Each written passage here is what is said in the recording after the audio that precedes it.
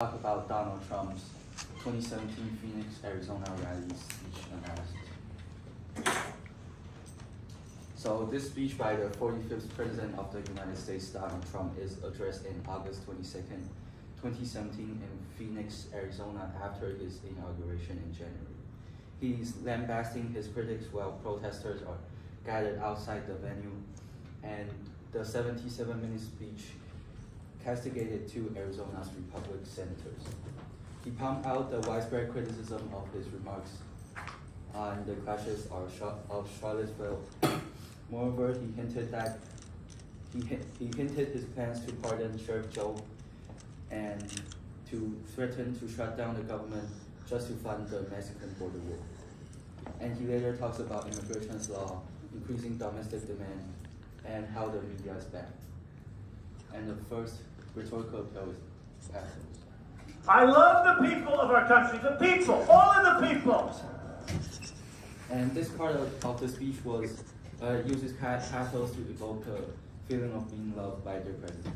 When he says all of the people, namely Americans, his supporters will be stimulated and feel rewarded for supporting him.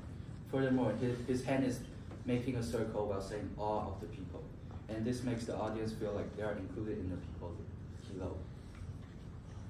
And the second appeal is logos. He, he uses statistics to back himself up. According to Pre President Trump, there are millions of jobs created since his office, and his election vote won by 2 million, and the unemployment rate is at the lowest in the, in the last 17 years.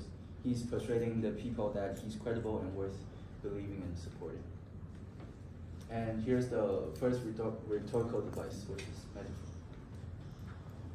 And they have little George Stephanopoulos talking to Nikki Haley. Like little George. And later on, Trump is mentioning one of his critics, ABC News anchor George. He put, put his hand, hands down low to brainwash the audience that George is little and sneaky. The association of little and George formulates immediately. And the second device is parallelism. Eight groups but the media turns a blind eye to the gang violence on our streets, the failures of our public school, the destruction of our wealth at the This parallelism is, is used to criticize the news media. The media turns a blind eye on the gang violence on our streets, the failure of our public schools, and the destruction of our wealth, indicating where and what the media did wrong, and that is misleading the Americans. And the third device is loaded language. And here's two clips. Slums, the drugs, the gangs, the cartels, the crisis of smuggling and trafficking, and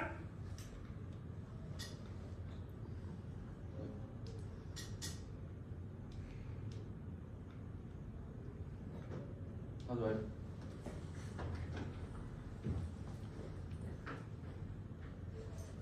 and I withdrew the United States from the job-killing Paris Climate Accord. And these two clips included both loaded language, and Trump uses the phrase fake, fake and crooked news to describe the media It mentions the lost life, the drugs, the cartels, the crisis for smuggling and trafficking that are caused by the media. This wording is heavy and correlating to bad and horrible stuff.